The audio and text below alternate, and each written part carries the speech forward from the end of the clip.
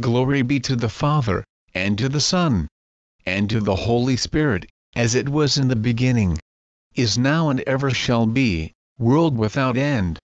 Amen.